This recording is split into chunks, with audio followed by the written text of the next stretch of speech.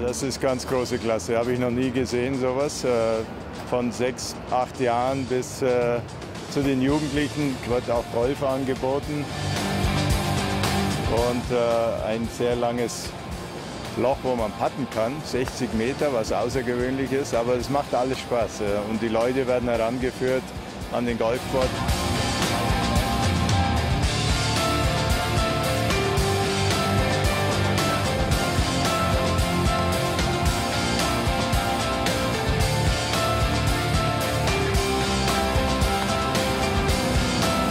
I think uh, Porsche and golf and, and on the European Tour here is a great uh, combination.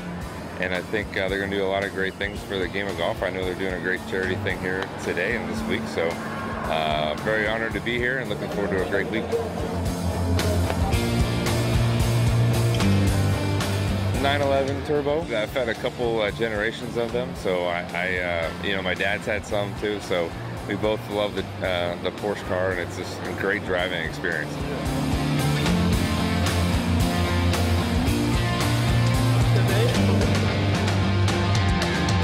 No, very excited. You know, the European Open was uh, was one of the premier events of the European Tour for many years, and it's great to uh, a have the European European Open back, but to have a company like Porsche wanting to get involved in golf. I think it's really exciting. Being a guy who's always been a massive Porsche fan all his life, uh, you know, I think we're we're really excited to have them in golf. Ja, die European Open war eines der größten Turniere über viele Jahre, wurde hauptsächlich in Großbritannien ausgetragen.